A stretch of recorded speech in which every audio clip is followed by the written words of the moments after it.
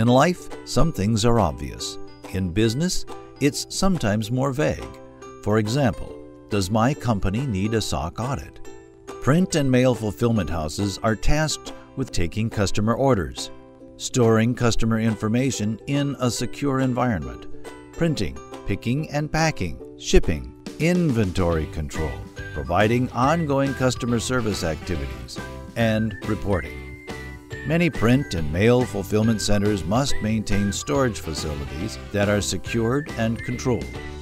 Performing a SOC audit provides the necessary transparency when it comes to internal controls around security, billing, letter shop, and other critical control objectives which may impact their customers' financial statements. SOC audits can be a confusing and frustrating initiative.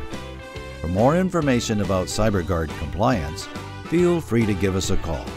Visit our website or view our SOC 1 and SOC 2 audit overview videos on our YouTube channel.